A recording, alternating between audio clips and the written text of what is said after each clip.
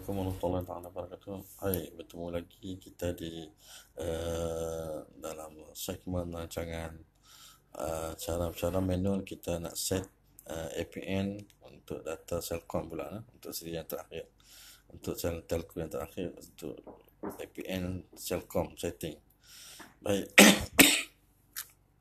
uh, kita pertama kali kita cari butang butang setting Okey, klik setting. Okey, bila klik setting, cari menu mobile network. Access point ni dia duduk kadang-kadang duduk di dalam mobile menu mobile network. Kalau setengah handphone dia duduk dalam SIM card mobile network. Okey, cari SIM card mobile network. Okey, SIM card, klik SIM card di atas nama SIM card tu, nama nama SIM card apa yang kita klik. Ada setengah handphone dah uh, dia duduk di depan depan ni lah point network. Ha, macam hari ni dia kena klik sekali lagi di dalam ah, menu ni kat ni okay. baru jumpa access point name okay, bila dah klik kita nampak access point name kita klik access point name okay, dia keluar apa access point name cari pula menu new APN new APN kita nak set baru lah. APN kita cari dalam mana? Ah, banyakkan model handphone uh, di, di menu atas titik tiga. Ada titik tiga titik tu klik klik tiga titik tu nanti dia akan keluar menu-menu pilih new APN okay, macam Redmi handphone Redmi dia terdapat di bawah ni. Uh, dia tak letak dalam titik tiga kita klik new APN ok sekarang kita kena isi data-data dalam new APN access point ni lah. Ok untuk Celcom 4G kita name bahagiannya kita type Celcom 4G huruf besar huruf kecil kena ikut lah nama Celcom. 4G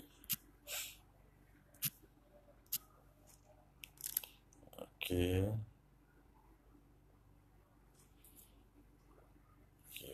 ok APN pula untuk APN kita klik set, type Celcom 4G huruf kecil huruf kecil Celcom 4G dekat 4G nya dekat ha? ok Cellcom 4G. ok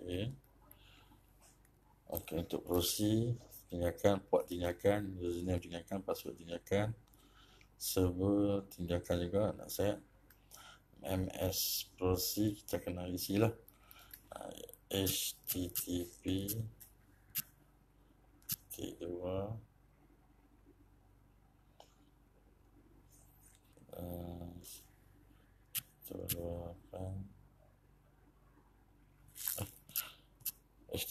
Titik dua slash slash eh bukan ms browser silap silap silap tuan-tuan lah yang saya yang saya balik di, di dalam ni mmsc mmsc ni mmsc okey kita type http titik dua slash slash. satu mm S titik Telkom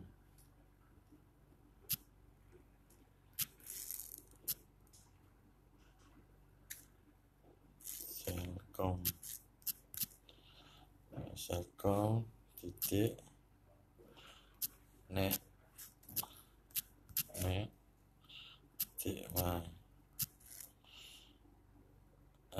ms.com my okay net my saya net my ms okay okay betul okay eh, bahagian ms proxy ms proxy tag 10 10 10 titik lapan.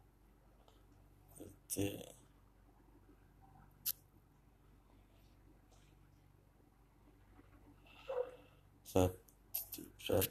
titik empat dua. Okey, macam ni. Okey, sepuluh titik satu dua lapan titik satu titik titik dua empat dua. Okey dua empat dua lah. Okey sepuluh titik satu lapan titik satu titik dua empat dua. Klik okey. MS port ada tak? MS port okey ada. 80 80 okey. MCC MCC 502 okey ada tadi abaikan. MNC MNC 19 MNC 19 MNC okey padam tag 19 okey.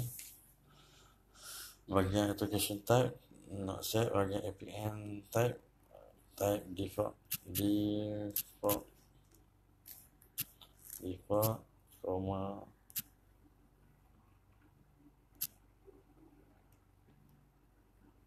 Default comma. SUPL comma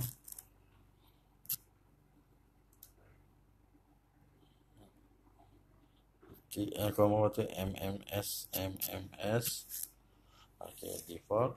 Comma SUPL comma MMS okay NPM protocol tinggalkan enable disable NPM enable disable. Uh, klik klik ambil NPM enable lah. Enable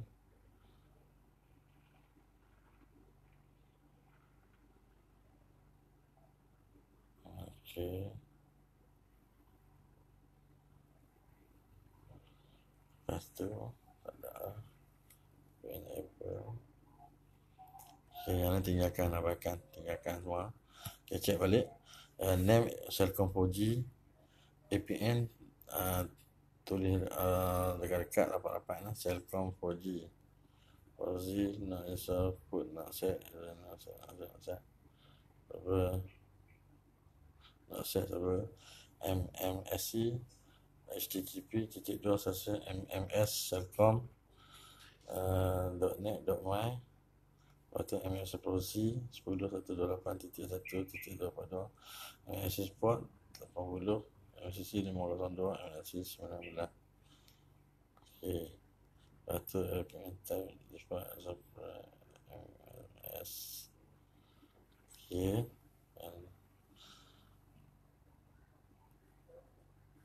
itu saja.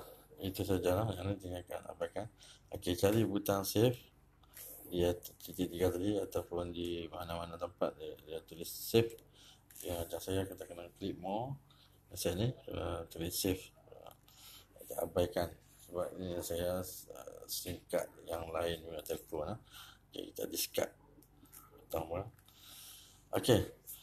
Uh, itu saja untuk menu kali ini uh, untuk kita nak set secara manual APN untuk plan data Cellcom 4G ya.